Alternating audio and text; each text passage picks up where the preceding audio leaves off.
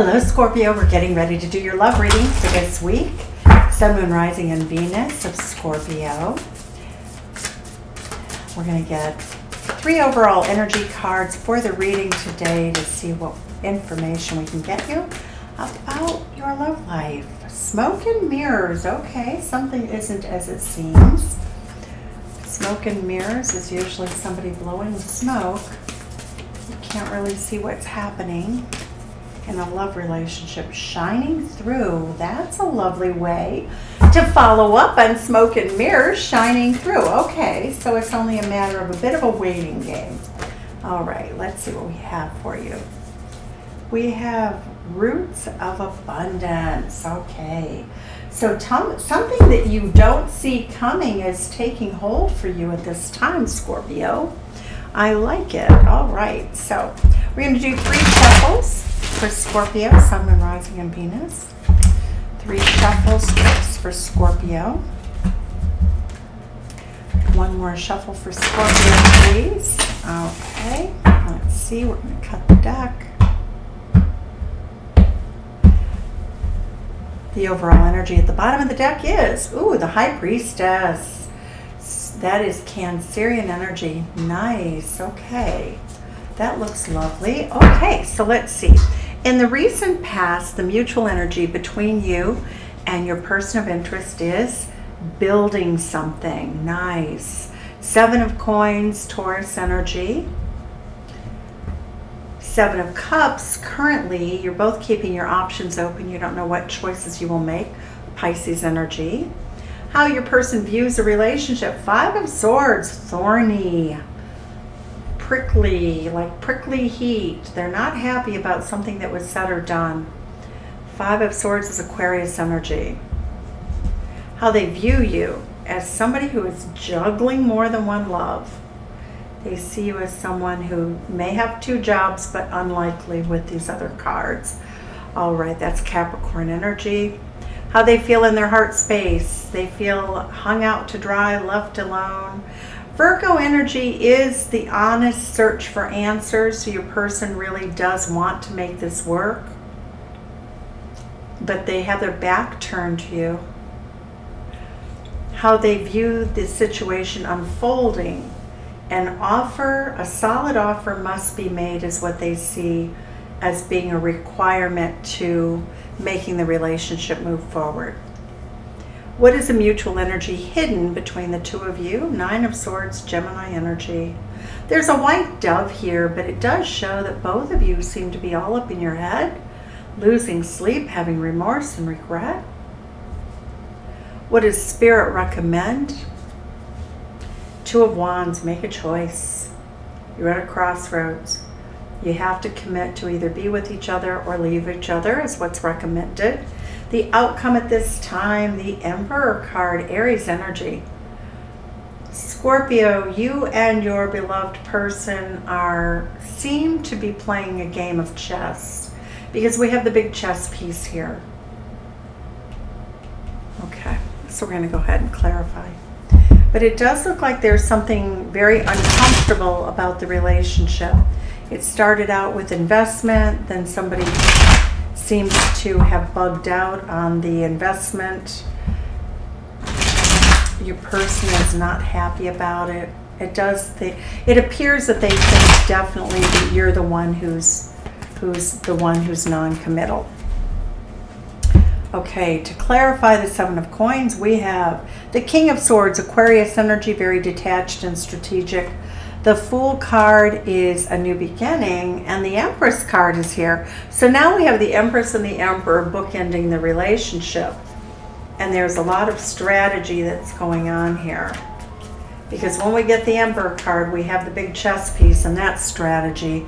And when we get the King of Swords energy, we get very aloof strategy about how this relationship is going to go, what it's going to look like, what it's going to feel like. But it, what we're seeing here is that you both want the same thing in stable, beautiful energy with a long-term relationship. So you're both throwing caution to the winds, but you're both staying very strategic. Why is the Seven of Cups here for the two of you? Nine of Cups. So there may be a lot of drinking, a lot of partying. There could have been some texting that you saw on your person's phone or they saw on your phone while you're out having fun. Somebody may have asked for a phone number. So there's a little bit of discomfort here, or actually quite a lot of it on the part of your partner. The World card. So now we've had, okay. So the World card is all about making a decision and moving forward, whether that's just a decision to stay together or not. The World card is also a card of great success. So when we close out a World's energy cycle, it's usually one that's been very successful. Your person has fire in their belly for the relationship. It does look like you've had an argument and your person feels very defensive.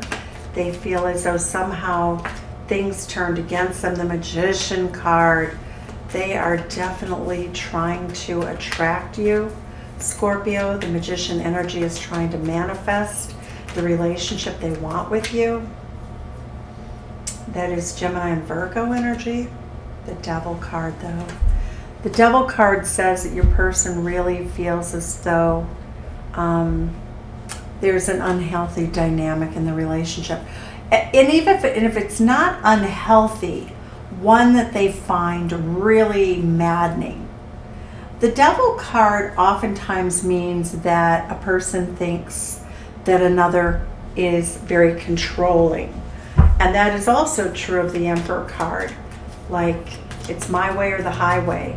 So your person feels that way about you, Scorpio, that, that you're very, I don't want to throw shade because it doesn't mean it's true just because it's what they think, but it, is a problem for the two of you.